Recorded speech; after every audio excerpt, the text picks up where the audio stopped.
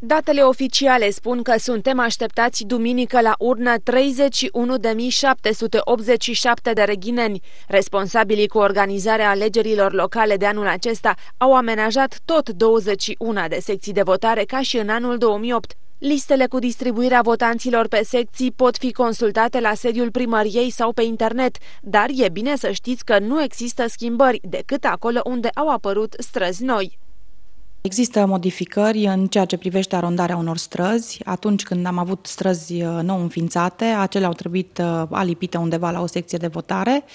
Am comunicat acest lucru prin mass media, prin dumneavoastră și am comunicat pe site-ul instituției și prin publicarea dispoziției primarului prin care s-au stabilit uh, și s-au delimitat secțiile de votare. Deci cei care au cel mai mic dubiu și nu se regăsesc undeva pot consulta site-ul instituției noastre sau pot suna chiar aici, la primărie, unde vom avea o permanență 24 din 24. Secțiile de votare se vor deschide publicului duminică la ora 7 dimineața. Atunci când ajungeți să vă exprimați opțiunea de vot, trebuie să aveți asupra actul de identitate. În lipsa lui nu este acceptat orice document personal. În primul rând ne prezentăm la secția de votare unde suntem arondați. Avem asupra noastră o carte de identitate provizorie, carte de identitate, buletin, pașaport uh, diplomatic sau de serviciu, acolo unde se impune, și carnet de serviciu militar. Nu vom putea vota cu pașaportul simplu. De asemenea, este important de știut că cei care nu s-au regăsit în listele electorale vor fi trecuți și se află arondați în zona respectivă, vor fi trecuți de către președinți în listele electorale suplimentare. Deci vor putea vota vom fi întâmpinați de 11 membri de secție, dintre care unul este președinte, iar altul locțiitor.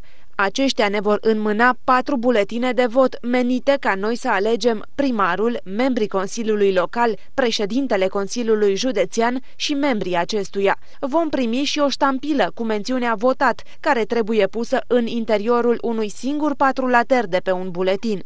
Cei care nu pot ajunge la secție din motive serioase trebuie să știe că și de această dată vor exista urne mobile. De asemenea, își vor putea exprima opțiunea și cei care sunt internați în spital. La fiecare secție de votare există urnă mobilă.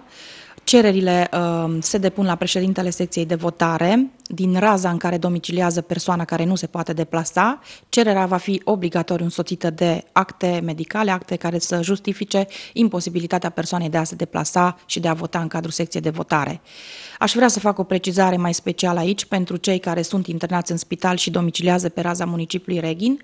Vor depune o cerere în formă scrisă la Uh, uh, sediul secției de votare care se află în incinta Casei de Cultură Eugen Nicoară.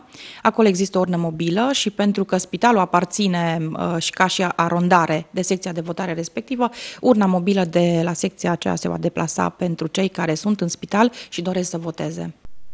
Una dintre cele mai importante schimbări ale alegerilor locale din acest an o reprezintă faptul că se organizează un singur tur de scrutin, așa că dacă vreți să participați la votare, acum este singura șansă. Regulamentul electoral spune că un al doilea tur de scrutin va avea loc doar dacă se înregistrează o egalitate perfectă de sufragii între doi sau mai mulți candidați.